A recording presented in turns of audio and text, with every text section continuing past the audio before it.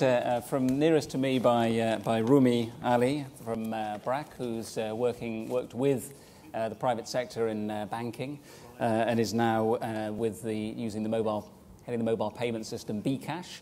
Estelle Brachlianoff from Veolia, Senior Executive Vice President in the UK and Ireland. Um, Devin De Vries, who's the CEO of, CEO of Where Is My Transport. We'll get a chance to explain what each of the companies do as we, as we go through uh, Jan from Hexagon in, uh, in Turkey, uh, and Richard Leftley from uh, CEO of uh, Micro Insure. Um, I'd like to start perhaps with Estelle, because I know that you've backed some work on the development of cities.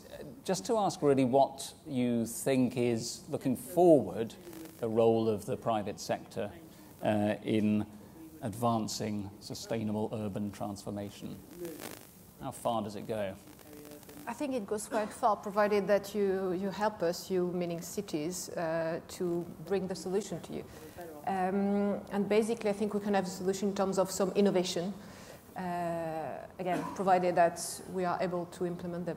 We, have uh, commissioned a report, the, the, the one you just referred to, by, uh, we, that we've done uh, together with the London School of Economics. Uh, I think you can find it on website and the rest. It's called Imagine 2050, and it's basically what can the sustainable city of today, but actually of tomorrow, can look like in 2050.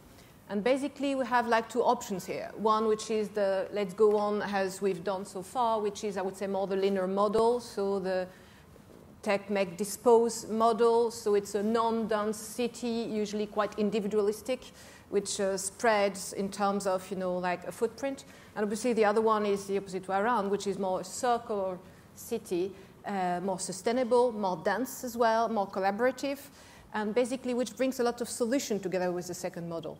Uh, and we were talking about, you know, public transport, but you can think of a lot of other stuff.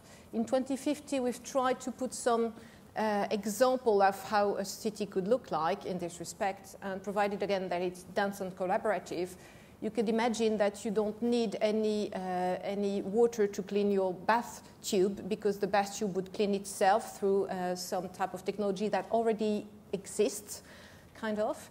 Uh, you can imagine to have nano robots sorting your waste directly. Uh, so you can imagine a lot of stuff. And again, we are not very far from those technologies. You know, they already are almost there. So in 2050, there is no reason to believe that those couldn't exist. So basically, I feel like we're at the, uh, on the edge of a Galileo moment, if you uh, may say so, which is, you know, we are discovering that the world can be round. Uh, and actually, we can, you know, recirculate all that and, you know, transform those wasted stuff into resource. Uh, and as a company, Veolia, we're transforming ourselves from what used to be a wastewater and energy company into, in a way, a mining company, which is to try to find through this waste, this waste heat, this wastewater, everything that could be transformed into something else and be given a second life. Uh, the good news is we're not only thinking about 2050, uh, we already start by like now, here or in other places of the world.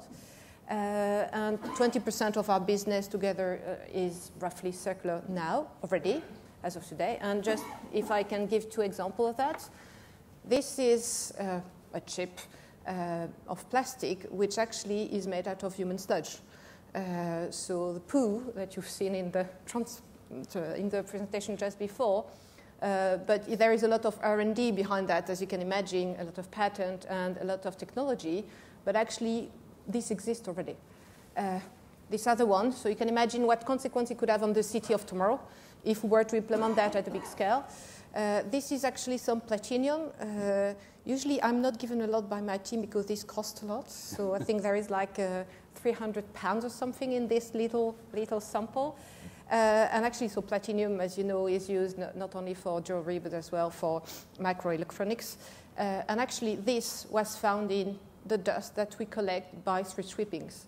So basically, in the street sweepings that we collect in cities like London, you have a lot of stuff among which you have some rare metals, which basically comes from the exhaust pipes back into, let's say, the street. You sweep it, and then goes back into a circle. So just a cool example to say, basically, private sector can help finding those type of innovative solutions which could close the loop and make the sustainable cities of tomorrow. And what's preventing at the moment the private sector from doing, doing more of this? What needs to be, what obstacles might need to be taken away between now and 2050 in order to give the private sector the kind of role that would be mutually beneficial to companies and to municipalities? Uh, actually, um, in a way, let cities allow us, private sector, to be innovative.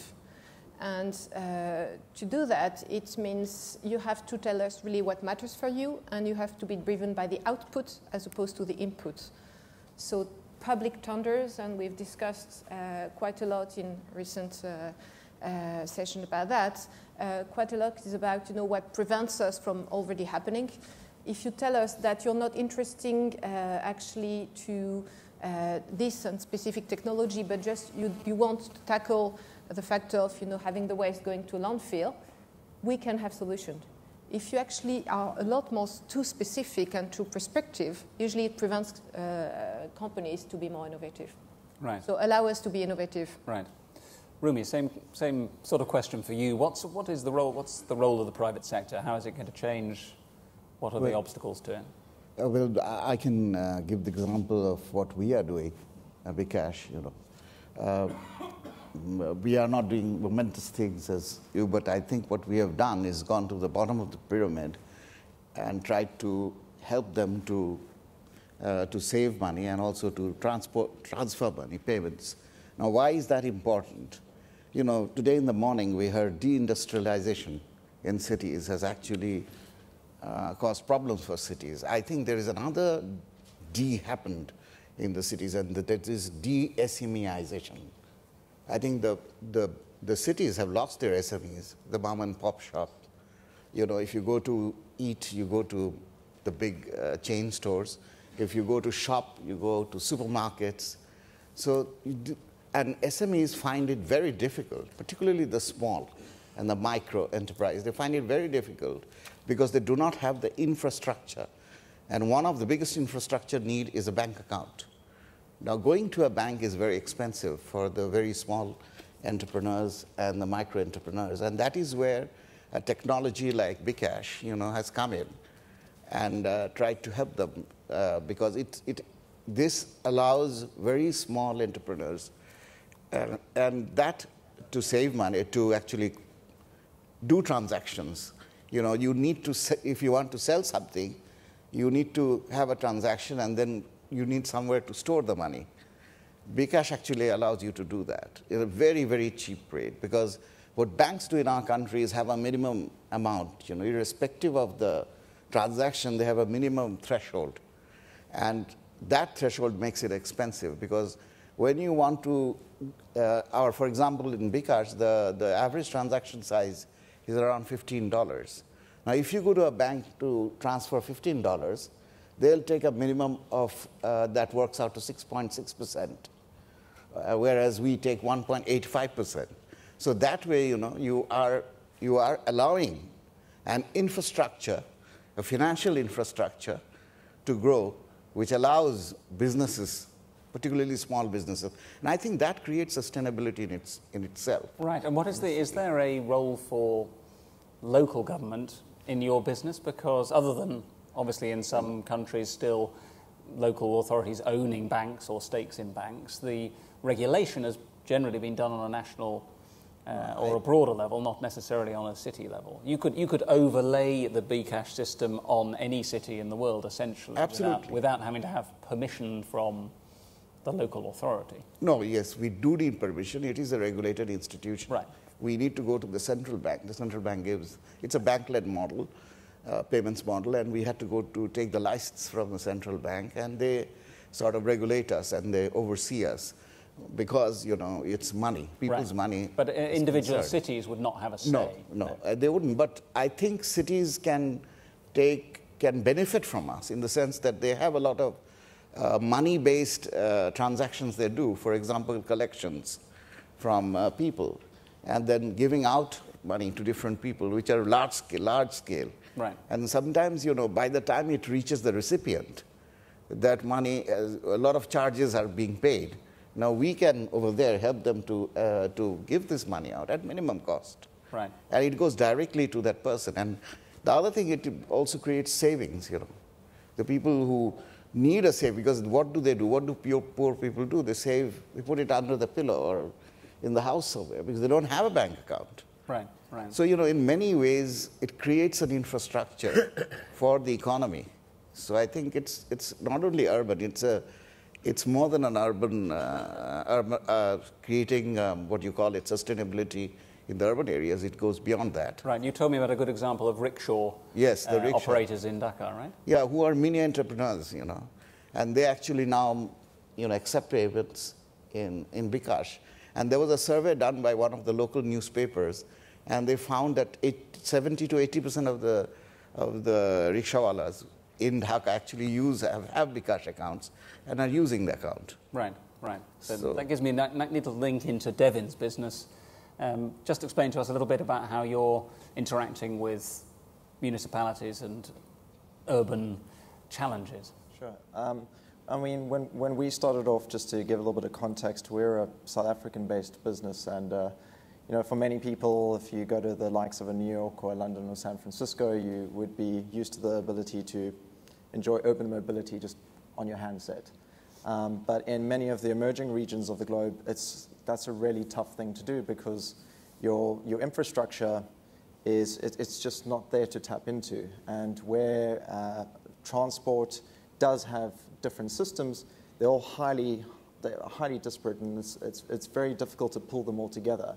And transport also, or mobility within the emerging regions of the globe, also functions fundamentally differently to how transport uh, functions in the first world. You've got a huge blend of paratransport. Uh, I mean, in South Africa, more than 70% of our movement occurs over this, this form of transport. Your tuk-tuks, matatus, chapas, minibuses, uh, they have different names. And the point is, government is unable to actually integrate their services because there's never ever been any sort of digital solution to actually bring this all together. And what started off as just trying to make information available actually took us through what is now a seven year journey to building out a platform that actually allows government to integrate their 30 year old systems with their brand new 100 million plus you know, systems with also these new sectors that have completely run ungoverned.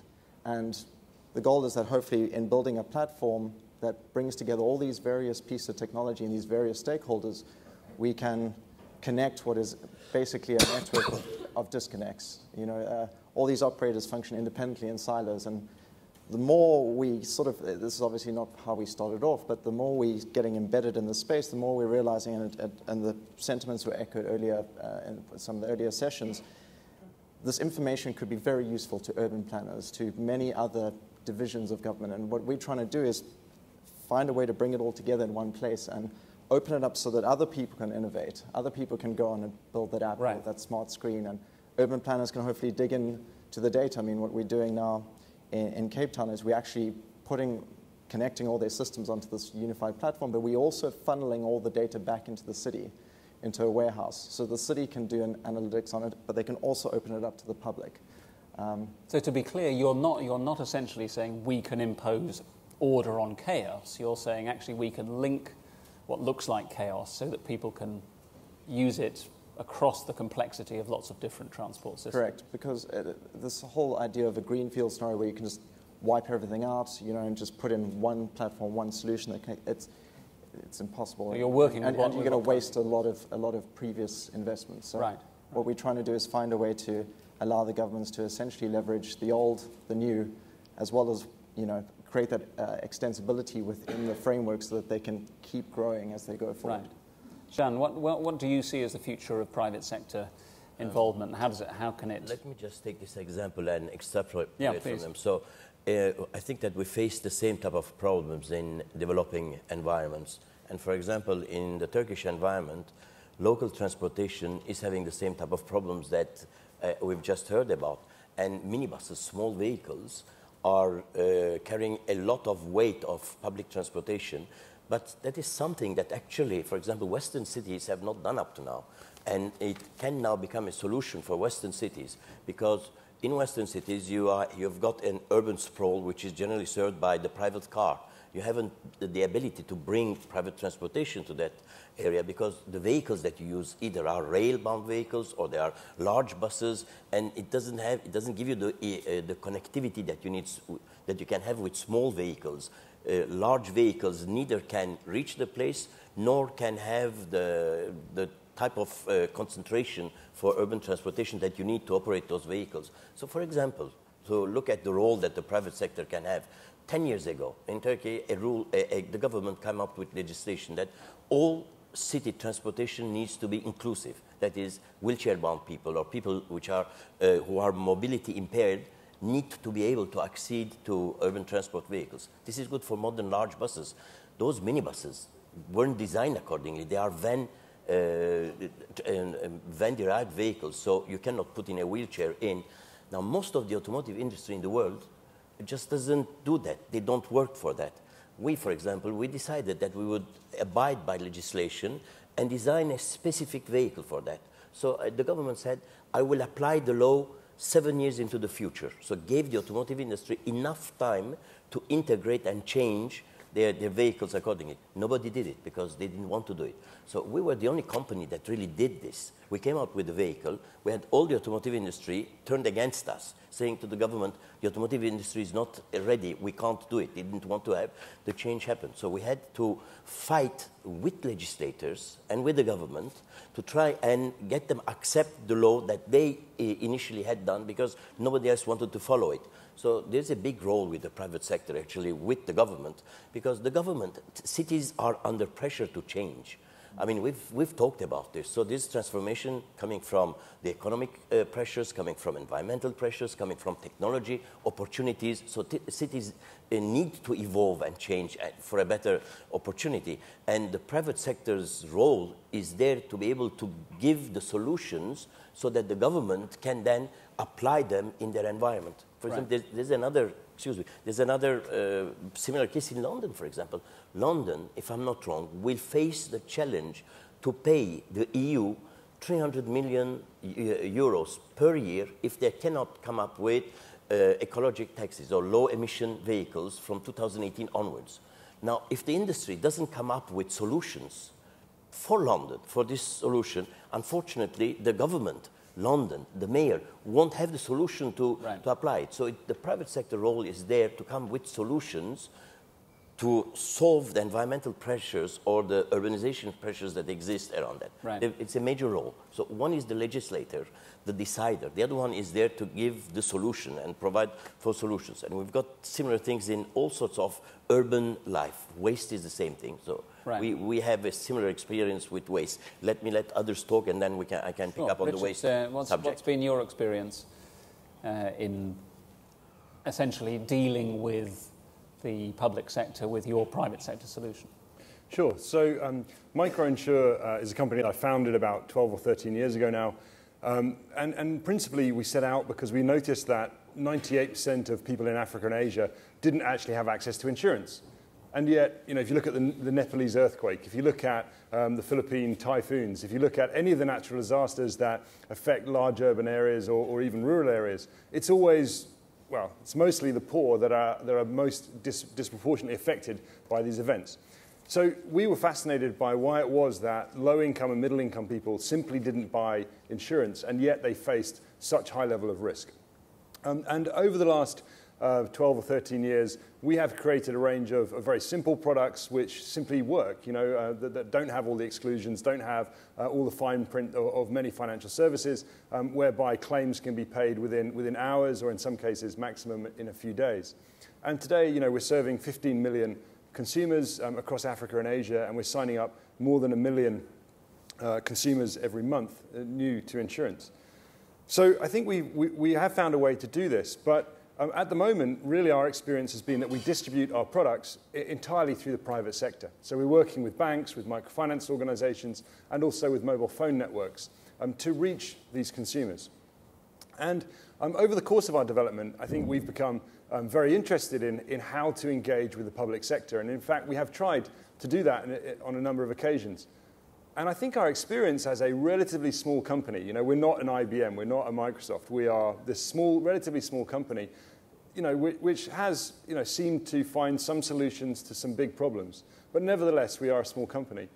We found it extremely difficult to, to actually engage with the public sector.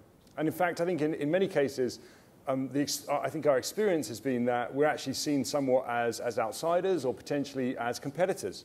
So, for example, uh, we have a range of health insurance products, um, which are, are, amongst our most popular products um, uh, you know, amongst our client base today. And when we, when we have launched those products, the, the, the fiercest kind of um, critics of those products have actually been the governments in some cases, um, or in fact large uh, NGOs or cities themselves, because provision of healthcare is actually a, a public good. It's something which the government is supposed to be doing. And yet, when you go to the hospitals, you find that there are no doctors and you find that there are no drugs. And those doctors and those drugs are around the corner in the private clinics. So, whilst we may agree as a company that actually health should be provided by the public sector, um, actually, at the moment, if you go to many of the cities um, that we work in around the world, you'll find that the public systems aren't actually working for the low and the middle income sectors. And so, as a result, our response as the private sector is to say, well, let's step in, let's provide a solution that works for people. And when the public sector is ready to engage with us, then we're absolutely, we'd love to, we, we, we would love to work with the public sector in in a PPP. But it seems extremely difficult to get those, uh, those opportunities up and running and to, um, and to not be viewed as a competitor uh, when you're coming from the private sector. When you, you started off, if I understand correctly, trying in that area to replace uh, government. Right. Well, well we, we, we, launched products because we, we saw that um, people were complaining that the, that the public right. sector solutions weren't working for them. Um, and so we, we started to come along with private sector solutions. And I think, you know, our, where we're at in our development is that um, we are hoping to demonstrate that we are capable, as a private sector player, to provide solutions, to provide almost the train tracks uh, upon which the train can run. And to demonstrate that we can do that at scale uh, and that we can operate efficiently, and perhaps in many cases more efficiently than the public sector. But the most, the, the most efficient that we can be is where we then engage that private solution with the kind of scale and with the, uh, and with the kind of um, convening power that, of course, the government brings. I mean, we're never going to have that convening power. Um, so I, I, think you know, we, we, are fascinated by what the future will hold for us as a small private company. And we're hoping very much that people will sit up and take notice of the progress that we've made in, in some very difficult areas.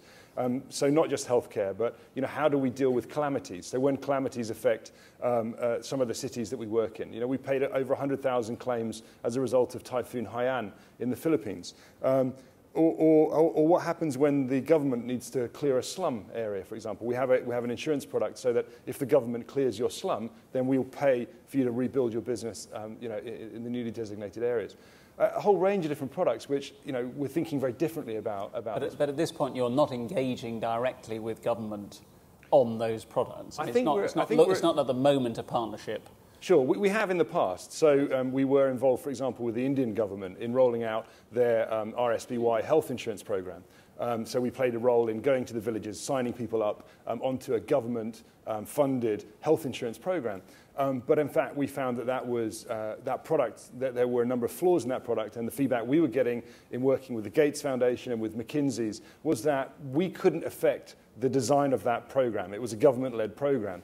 Um, and as a result, that actually forced us to, to actually leave India and to go into Africa and try some new ideas, right. which we then launched with, with mobile phones. So, so I suppose the general question that, I, that I'd like to try and get at is whether there's more of an... Um, in the first uh, panel this morning, Joe Beale talked about the uh, entrepreneurial opportunity provided by, by these fast-growing uh, urban areas.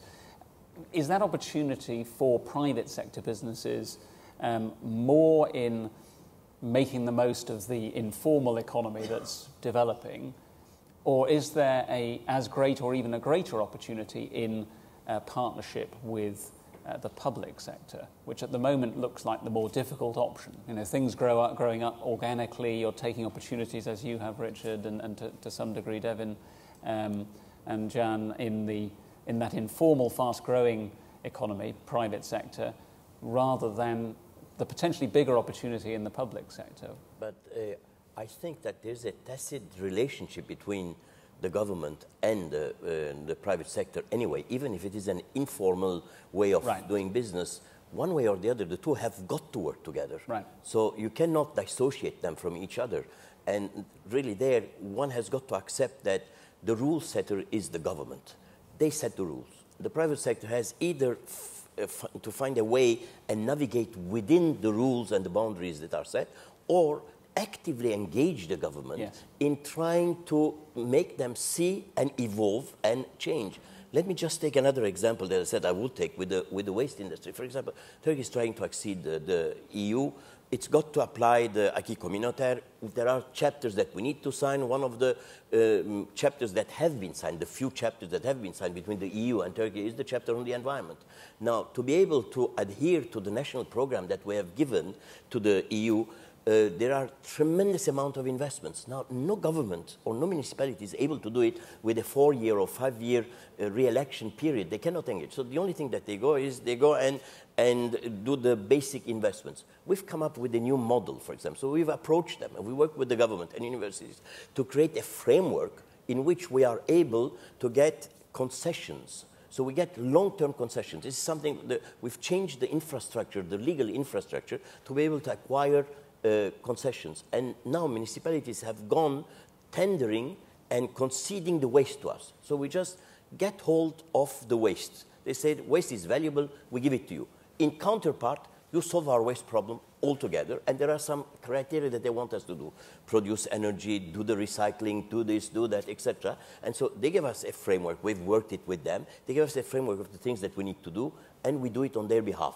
So we have modeled together with the government a new way of doing business. I think this is the responsibility of the private business right. to be ingenious and inventive, innovative, not only in products, but also in the way they work together with the government. Right. Estelle, you talked about output over input, so no longer the kind of pile of papers that says we, from government, local government saying you need to do it this way, price it for us. Is that what you're seeing as well? Yes, and I would, uh, to, to, follow up on your example, let's say I'm a, a, city, I have, let's say, two ways of procuring my waste to go to your route. You have the, unfortunately, too traditional way or too common way, which is, I think my solution to, to have energy from waste here, uh, recycling center there, uh, to have uh, twice as much composting, whatever. And I think the good site is here, and you should have the trucks this big, uh, on which day of the week to collect it from here, to go there, and that's it, that's my thunder. That's a traditional way. Of course, you can have solutions. Usually, they're, uh, you know, like uh, quite for the big companies, let's be honest, and goes back to your point about SMEs and access to public tender. And you have the other way around, which is to say, basically have this amount of waste, and what can you do? Because my problem is to avoid, you know, like not doing anything with it. So basically going to landfill or be compliant in terms of the legislation. The rest is yours. Uh, I think it's, it's a more uh, trustful relationship with the private sector. So it's not only I want you to finance, but I want to design every single bit of the solution. It's actually the outcome is this, avoid going to landfill. What can you do for me? And you know, in various countries, uh, even in the, uh, in the more, I would say, uh, uh, traditional European countries, you know, you have had like, the one, the first one, and the later as well. Uh, and actually, the later does work incredibly much better than the first one, uh, without any doubts. And I would say on the second type of solution, you can either, as a big company, bring you with you more innovative SMEs uh, to answer to this one.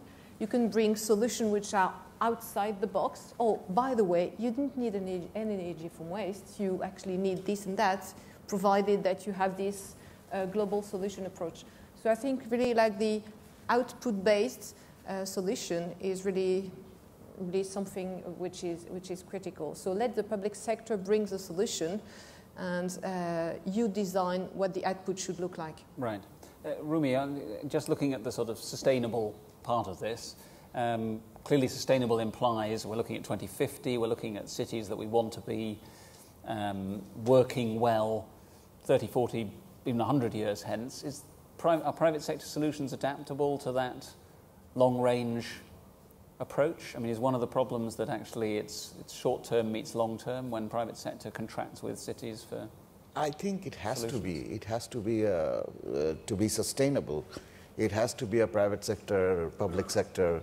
You know, I think fundamentally the the city government should be the people giving the rules, regulations, and things like that. And the private sector will play the role of delivering services. That would be a long term ultimate solution. I think we have to move away from city providing everything, right. like you know you are now.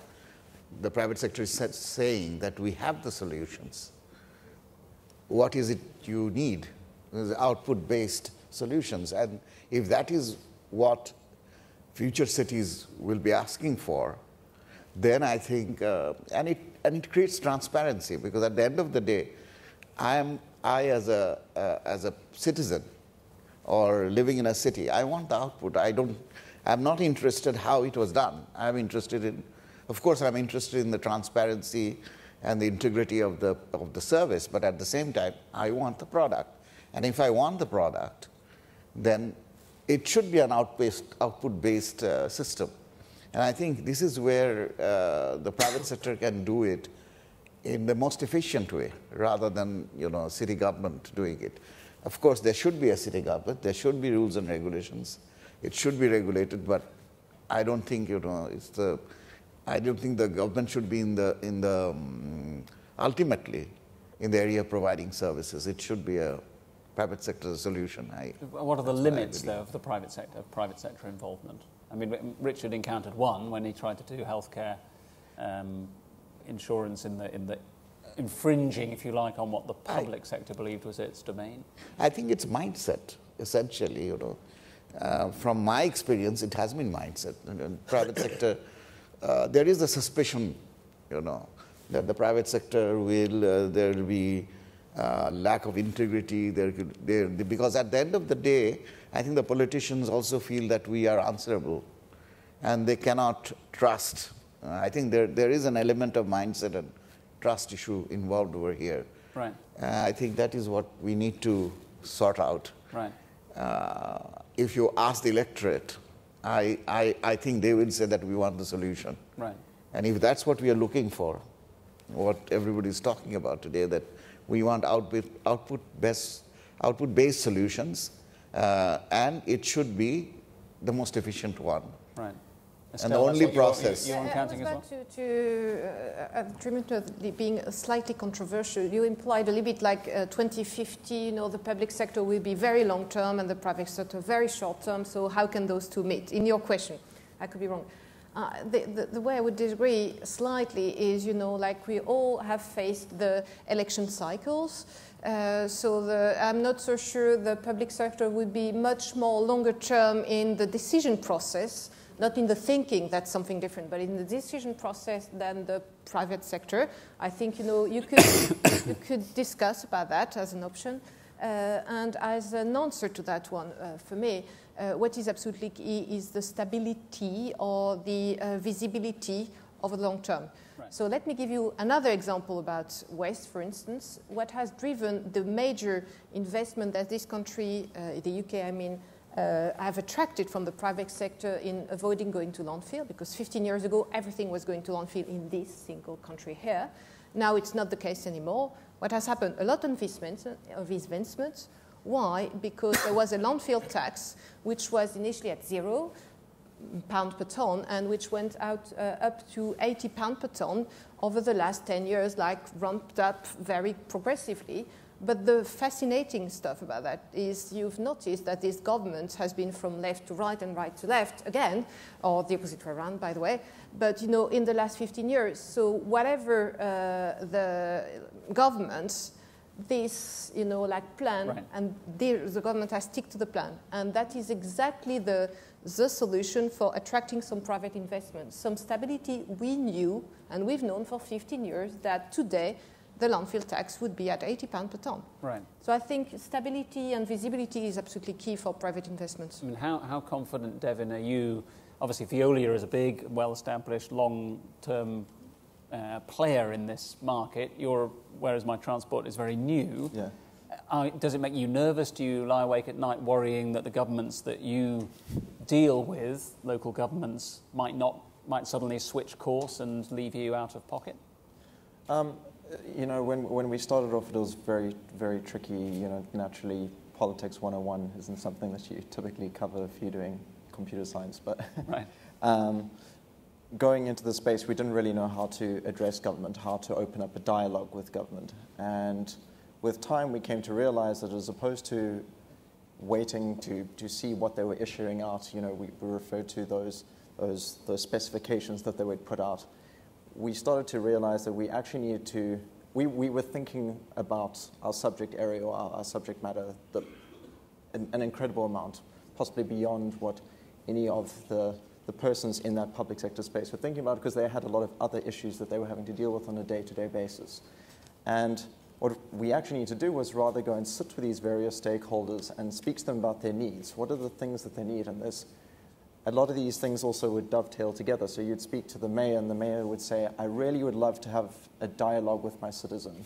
You know, when they come in and out of, of the city, whatever, wherever they're interacting with the city, I'd like to be able to have a dialogue with them and you speak to the transport director, and the transport director says, I'd really like to pull all of my, all of these different modes of transport together. And you, you know, you'd speak to someone in the urban planning section, and, and they, they also have a set of goals. And so we actually started collecting these needs together and innovating in our private space on trying to answer to these needs. Know, we've been speaking a lot about these outputs and getting to a point where we can actually come up with uh, something that weaves together these, these needs, then going back to the government and going, oh, here's something, if, you, if you're willing to give it a go, um, you know, take a chance. Right. And that, that, that was our foot through the door. That, Right. that was our way of actually. And, and governments were prepared to take a chance. Doesn't sound like a typically con- city conservative government, conservative with a small c. Yeah, the, okay, so we had to nudge them a little.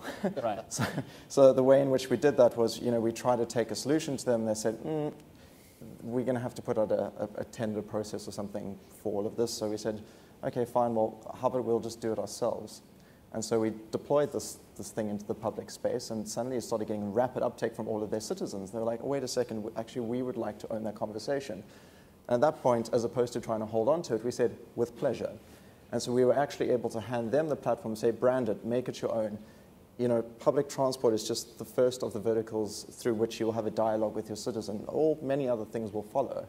But it was really handing that platform over to them and saying, Right. now many other people can approach you and innovate and build on top of it. And So, so rather like City, um, Gustav from City of Stockholm was saying this morning, you, you ran a pilot essentially, which when it succeeded, they were able to see the the, advantages. the of validation, yeah. Yes, interesting, Richard. Yeah, I think it, it, it really boils down to that, this word innovation.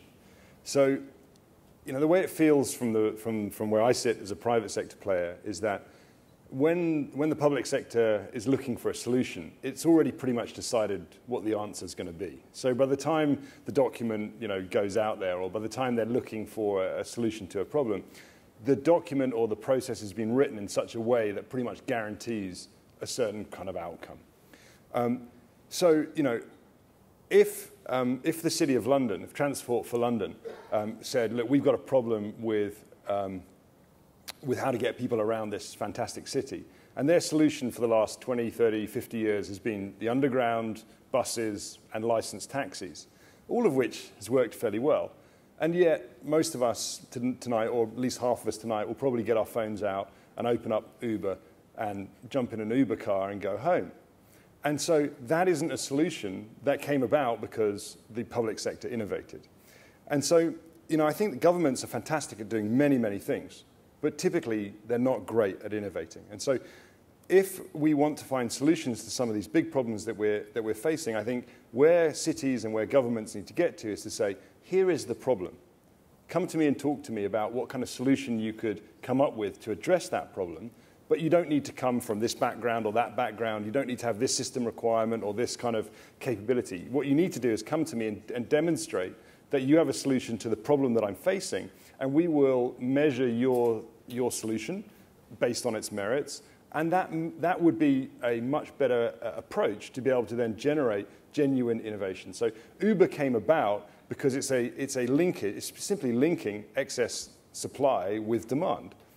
It's completely outside of the, the public sector. But if the public sector had come forward and said, we have a problem with public transport, it would have been interesting to, to, to have seen whether Uber would have, would have happened in the way in which it has. Yeah, I mean, there's a question of whether, of whether any local authority would have identified that there was a problem with public transport. Given Well, fr- they Friday, Friday night, on a, on a rainy Friday night, standing in Covent Garden, it's pretty damn obvious Right. there's not enough taxis. So, Right, right. yeah. Uh, Rumee. Yeah, uh, you know, I think in, uh, in, in our case also there was this uh, government uh, willingness or the central bank willingness to, to create inclusivity in, uh, in the financial system because most of the people at the bottom of the pyramid didn't have access to a bank account.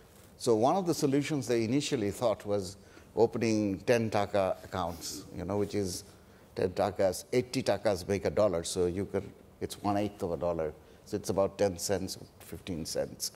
Now that, they opened accounts, but that doesn't work very well because I think very poor people find it uh, a, difficult to go to a the bank branch, which may be far away from home, or it can be forbidding in many ways because there's a bank manager who probably wears a tie and a suit and you know in bangladesh uh, in the villages they find it intimidating.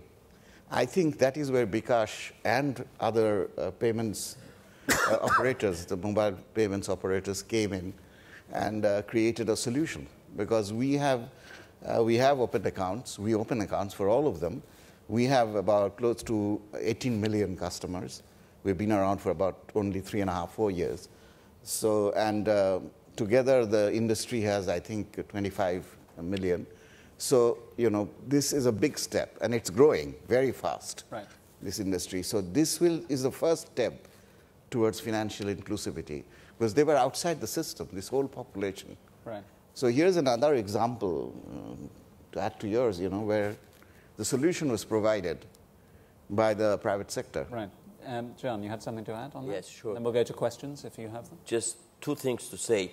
Uh, something like Uber, for example, yes, it is there, it is innovation, but it doesn't solve all the problems. I mean, it cannot serve everybody. There are people that cannot afford Uber, for example. So the government's role, the city's role, is to be able to give everybody a certain level of service right. at a certain level. So there might be some technological solutions that come here and there, but that doesn't take the role of the government away completely. They've got to be there to make sure that they are able to give equal service to all the citizens that are living in the city and give them the opportunity to live in the city.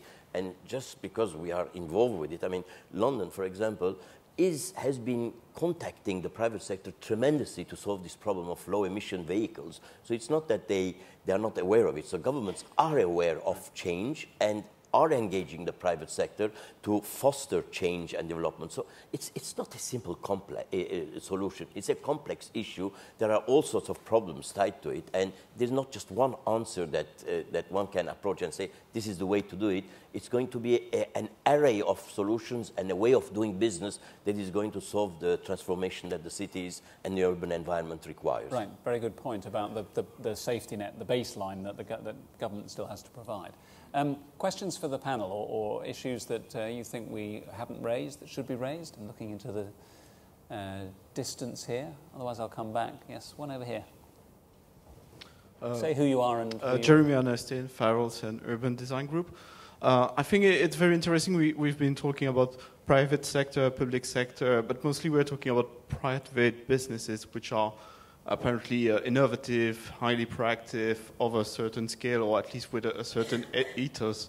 Uh, I think it was mentioned the automotive industry in Turkey, but uh, how do you relate to, to big businesses of a certain scale and maybe some uh, legacy business? I'm thinking automotive again, energy, chemicals, businesses which got a certain scales, and in the example you gave, apparently in Turkey with transport, are, are more willing to try to change the regulations uh, to avoid uh, the solve the, an issue being solved than actually being innovative and, and provide public bodies with what's happening. Because here we're talking about private, public, and why is there distrust from uh, a number of people towards private sector?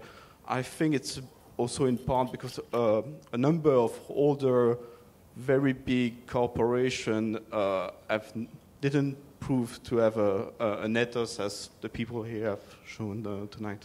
Right. It's a, it's a good point about the, about the, essentially, just to take that on a second, the incumbent businesses are often fighting to get governments to do the reverse of innovating because they don't want to be disrupted. I mean, we've seen this in. Is that what you I- well, partly encountered in I, Turkey. I, I said that there are, there are businesses which today are operational and they would prefer not to change. So they are against change because they've got an environment which they've got their, their comfort zone. They're making money in that comfort zone and change is disruptive for them. So they're not sure how they're going to deal with it. And there are new companies in the new environment that would challenge them. So there are a lot of private uh, um, sector companies that would prefer not to change anything. And so they are the people that are bring, uh, pulling the governments back rather than helping them make the change. Right. So, so, so uh, as I said, it's a, complex, it's a complex issue, especially for the governments, because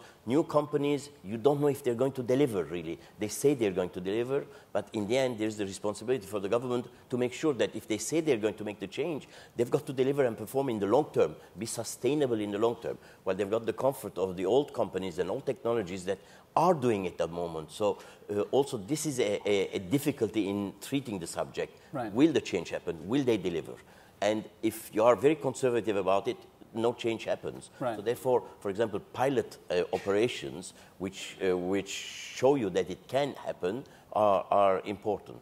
Estelle, representing large companies. I don't know, I feel like surrounded by innovative SMEs, wondering if a big blue chip company could be innovative. I hope I've demonstrated it. Uh, and actually, uh, even big companies know that they can fail. Uh, and you know, like you know, you imagine that the Uber has disrupted totally the market, and I don't see any single big company which is not wondering now what's going to happen, and therefore I have to change and have to change quick. Uh, so I think we can have innovation as well in big companies, uh, and we've proven it like dramatically in Veolia. Again, 20% of our business, which is circular, where 10 years ago we were making money out of the same landfills we've talked about. You know, it's a quick transformation for us. Uh, having said that, I think you know the big uh, solution for big companies is to try and understand what they can do and what they cannot. So that's why I talk about partnership with SMEs or partnership with startups. Uh, and it's what I found the most difficult to explain to my team. Whatever you're talented, uh, actually you have to partner, you have to build relationships, you have to, in a way or another, uh, bring them with us, as opposed to try to do 100% yourself. But isn't part of the thing that big companies do well is building the relationship with the existing government structures and then lobbying to keep the relationship as it is with those, in other words, to protect the rules that have protected the business of the big company. Again, I'm not suggesting that Veolia does this. Isn't this just one of the things that big companies do? It's one of the things which can happen at times, but the opposite can happen as well. Uh, we are lobbying about uh, circular economy very hard in the EU for the new legislation, which will be uh, hopefully voted for this year, and so on and so forth. So both can happen. So when you have big blue chip which pledge in the favor of you know the innovation, I think it makes things hopefully quicker to happen. That's it. So you can have both, but please don't generalize. no, Jan? Are you going to ask the same question to me? I'm I- asking I- you. By all means, I, I come from a small to middle-sized company. I've always fought against large companies. I think Veolia out.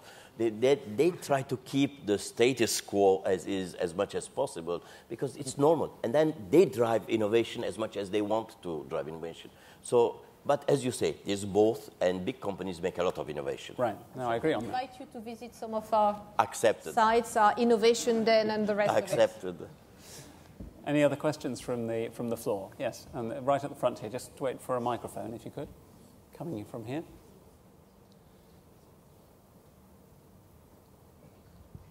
Um, uh, this is a question on. Uh, um, well, my name is Beatriz Armendáriz, and I am uh, uh, from uh, Fi- Financiera Sustentable. So, my question is uh, with regards to microinsurance. Uh, could you please explain to us a little bit how could the model be self-sustainable, or how could uh, uh, microinsurance be uh, subsidy-free, and what is your vision for the future? Sure. Um, uh, MicroEnsure is a, is a for-profit company, uh, has investors which include uh, large insurance companies like AXA Insurance Company, as well as mobile phone companies like Telenor and also the IFC, um, a whole range of, of different um, investors. Um, we don't have any subsidy um, outside of you know, raising of equity um, to, to fund the business. um, and um, all of our products uh, operate on a, on a profitable basis. So yes, uh, absolutely. I mean, I think scale is the most important component for microinsurance. So for us, um, that's why we, we are fascinated by the public sector. We've been working with the telcos, um, principally the, the, the kind of growth that we're seeing of, say, a million new customers a month has come mostly through our partnership with large mobile phone networks in, in Africa and in Asia. Um, but of course, we're very aware that the public sector would give us even more scale, and that's why we're, we're fascinated in, in working with the public sector. Um, the, the biggest issue in, in, in, the, in the shape of microinsurance, actually, um, everyone assumes that the problem will be lots of losses arising from these low income people. Actually, that's not the case. The challenge is, um, is in controlling the sales and distribution cost associated with educating the consumer, helping them understand how the product works, and then also servicing their claims quickly. um, the, the, the, the problem with claims is not that we get too many, it's that we get too few. So we, we actually, um, one of the things that I look at every single week as a CEO, the, the, the report I'm most interested in is looking at how many claims we've received on each product, because quite often it's below what we expect. Um, because people forget that they have the insurance, they're not sure how to make the claims. And that, of course, is a big problem for us, because if they're not using it, then they're not going to continue being our clients. I'm afraid we've run out of time for further questions. Um, very happy to have had representatives of big and small, new and old on the, on the panel. I'm sure we're going to see more of them uh, in this sector uh, in the coming years. Uh, so let me just uh, invite you to uh, thank the panel for their contributions.